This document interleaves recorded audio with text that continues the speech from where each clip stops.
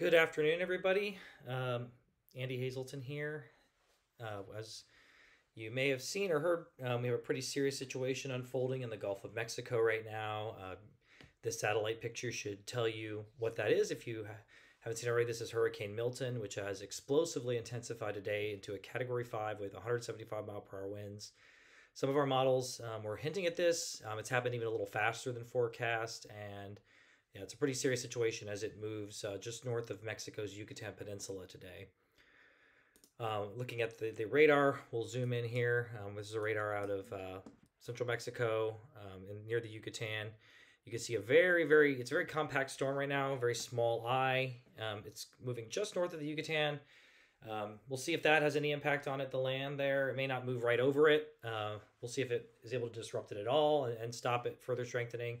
Um, the other thing that it's going to try to do is you can see there's this uh, second ring forming um, kind of around the eye. That's so we may try to get an eye wall replacement cycle, but that would just make the storm larger and it, it could re-intensify. So a very serious situation um, in the Eastern Gulf um, coming up.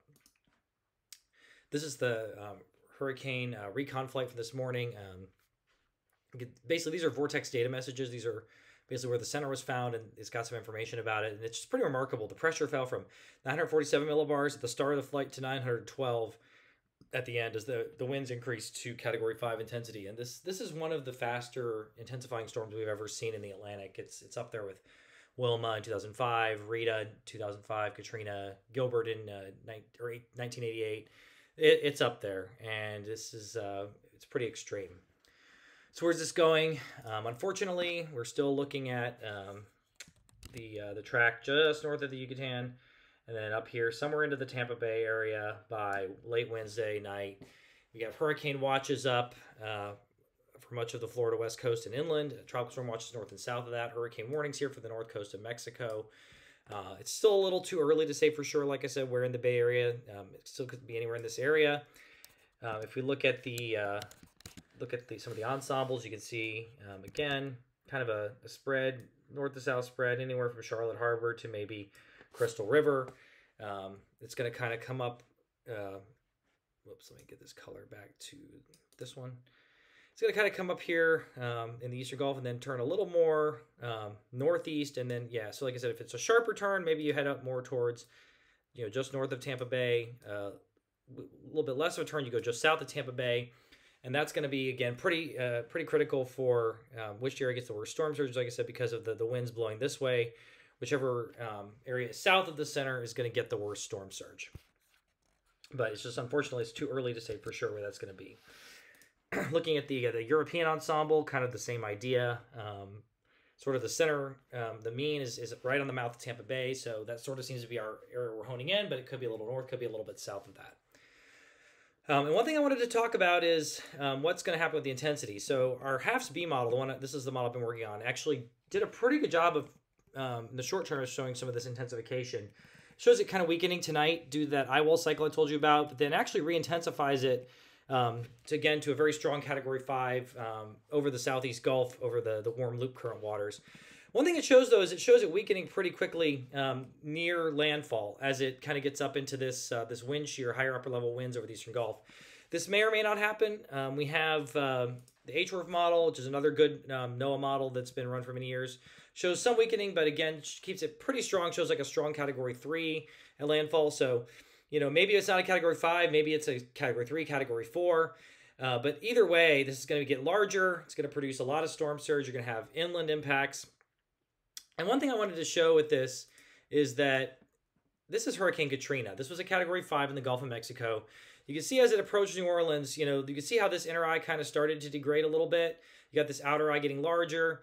So it did weaken. It weakened from a Category 5 to a 3 as it moved into New Orleans. C kind of looks like what we're looking at here, right? That little small inner eye decays, get a much larger eye. And what it, and we know that Katrina produced one of the most devastating storm surges on record. And obviously, uh, Tampa doesn't have a lake north of it, but it is one of the most surge vulnerable areas in the world. And I think this is kind of what we're looking at. If this makes a direct impact into Tampa Bay, it could be a surge event rivaling something like Katrina, some of the worst surge events we've seen. So this is something to take seriously. If you live in an evacuation zone, I think we've seen evacuation orders today. Take them seriously. Don't play with this one. This is um, not worth risking your life on. And there's inland threats as well. We have uh, a lot of heavy rain. There's sort of a stalled front, another weak area of low pressure moving east ahead of Milton. Um, this is a lot of rain over the Miami area, so flood watches are up. So, and this is just going to make uh, the flooding conditions worse as the, the hurricane moves um, toward the Florida Peninsula midweek. In terms of timing, um, this is important because as tropical storm winds um, increase, that sort of uh, cuts off your ability to do some of these preparations and bridges and things like that. So this is the uh, possible earliest arrival time of tropical storm force winds, and you're kind of looking at about Wednesday morning along the Florida west coast. So really, preparations need to be ideally finalized today, and, and really tomorrow is your last day to do it. Wednesday, just just hunker down and start. You hope for the best because by you know Wednesday morning late, we might be starting to get into nasty weather, and which would make pre- preparations very difficult. One other thing that I wanted to show, this is a product that I think is really useful. This is the uh, the hazardous uh, threat index, um, hurricane or sorry, hurricane threats and impacts um, for from the uh, the Tampa Bay area. Um, this is the wind threat. So you can see this is kind of on a scale of one to five, a little bit. Um, you can see so you know yellow being like thirty nine fifty seven. So like the Miami area will probably get some tropical storm force winds out of this. But you can see they have right now the I four corridor is pretty much all in the sort of this like four or in the Tampa area level five um, for winds over 110 miles an hour potentially. So this could be a really serious wind event, certainly at the coast and even stretching inland along the I-4 corridor. Lots of trees down, lots of power outages, and that that's a big problem. In terms of storm surge, we're looking at anywhere from 9 to 12 feet, maybe even more in spots. Like I said, especially just to the right of where the center comes in. Um, Tampa Bay, this whole area is very vulnerable. Charlotte Harbor, Sarasota, Manatee, all of this is, is uh, potentially um, in a in line for some serious coastal surge and some and flooding. And this killed a lot of people with Ian. So please take this seriously. Don't let yourself become one of the statistics. And in terms of the flooding rain threat, like I said, um, pretty major flooding potential in South Florida, Central Florida. The storm itself will be moving pretty fast, but a lot of rain out ahead of it. So you know, on already saturated ground could certainly cause some flooding issues. And also um, the tornado threat all across the peninsula. Anytime you have these landfalling hurricanes, especially on the right side, out ahead of it, you get these tornadoes, and that could happen here as well. So, very severe threat. Take it seriously. Finalize preparations if you're in a mobile home, if you're near the coast in a flood zone or you know low-lying area. Evacuate. Heed local officials. Stay tuned to the weather service. Get your information from trustworthy sources. Don't play it um, loose. Take this one seriously and be safe, everybody.